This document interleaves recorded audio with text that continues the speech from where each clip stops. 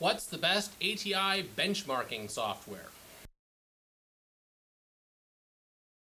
One of you wrote in to ask what the best ATI benchmarking software, and probably the best ATI benchmarking software is also just plain the best benchmarking software for 3D performance, whether you're running NVIDIA or ATI or Intel or whatever you're running. That's FutureMark. FutureMark is a great product, and it's pretty and it's fun to watch, and it tells you how fast your computer's going. Now, I'm actually running 3D Mark 11, which I don't believe is the latest version.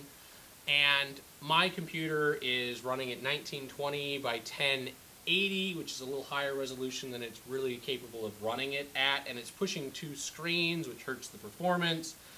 So things are a little choppy here in the background. And you know what? I don't care because I don't use my gaming. I don't use my computer really for gaming. I use the Xbox. I use the Xbox not because PC gaming isn't awesome. All of you are going to bash me for saying, "Oh, your computer's so slow and it doesn't do these things." And PC gaming's the best. Well, you know what? PC gaming's expensive, and my friends all have Xboxes because they're not super nerdy computer geeks.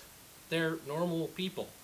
And if I go out and get the latest stuff on PC, lots of times they can't play it. If we have Xbox, we can all play the same things and we can all be friends and we don't have to be like, I'm getting 85 frames per second because my computer is so fast and I just bought six cards and I SLI'd them and crossfired them and I've got 184 cores and 94 billion gigs of RAM. You know what? Tough. I, I don't want to spend $10,000 on my computer gaming rig in order to be able to play Skyrim at 360 frames per second. I'm perfectly happy with my Xbox, and everybody has the same experience, and we're all happy, and we don't know any better. So, if you do need to benchmark your computer to prove that the $10,000 that you spent just got you an extra 4 frames per second, check out FutureMark.